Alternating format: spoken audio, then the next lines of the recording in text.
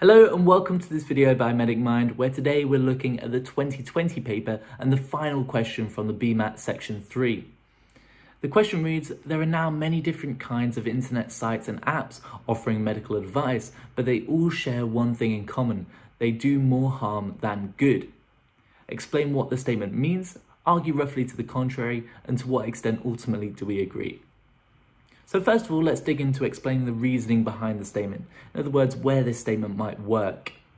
You could say that sites do more harm than good because they draw attention to dangerous and potentially rare conditions rather than highlighting what is most common or frequent. And as a result, they don't apply to the majority of people that are viewing them.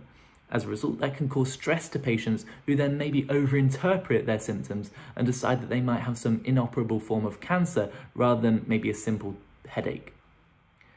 You could also argue that sites and apps can be dangerous and sort of do more harm than good because sometimes sites can be linked to private individuals offering private services and therefore they may offer malicious information or maybe misleading information in order to create business for those private individuals.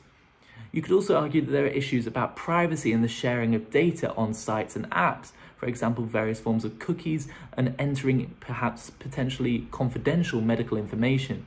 Therefore, all of these sites and apps pose a large uh, information threat, and that's why we have to be so tight on GDPR regulations.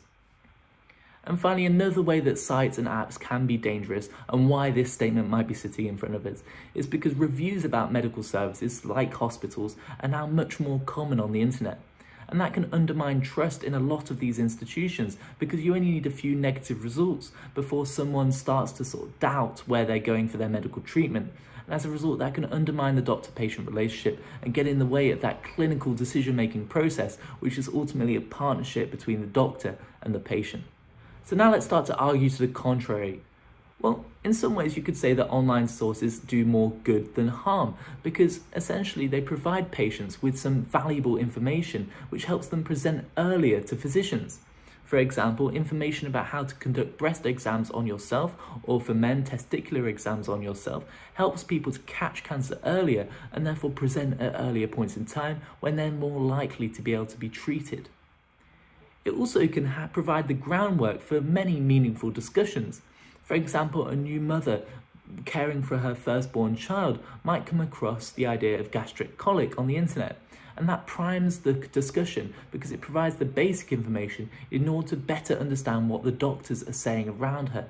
As a result, that can help fill in the gaps a lot more quickly in terms of knowledge and caring for that infant, and therefore provides better patient outcomes and better understanding from everyone involved.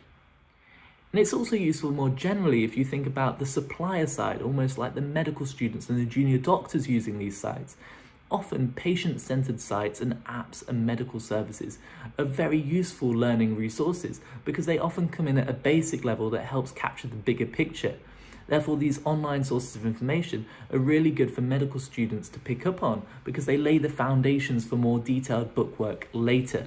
Therefore, they do more good than harm because essentially there are different people using it and it helps to sort of build up the knowledge base of many of those junior professionals just coming into a speciality. So now that we've discussed all of the sort of pros and cons of medical apps and websites and advice services, now let's think about to what extent do we agree. And for this last part of the essay, we want to think about practical compromises that could be made or procedures and sort of things that could be put in place in order to limit the negatives and maximize the positives. And the first thing that we can say is that internet and sites and apps in general can be very beneficial. However, in order to be beneficial, they need to provide realistic information with warnings in order to prevent overinterpretation. And that helps to counteract that sort of negative effect of patients overreading what they have online and thinking that they suddenly have some sort of brain tumor. If the information was realistic, was weighted according to what the population has in general, and also provided warning for overinterpretation, that's when that information becomes really useful. And you can see that in process and active in the NHS website.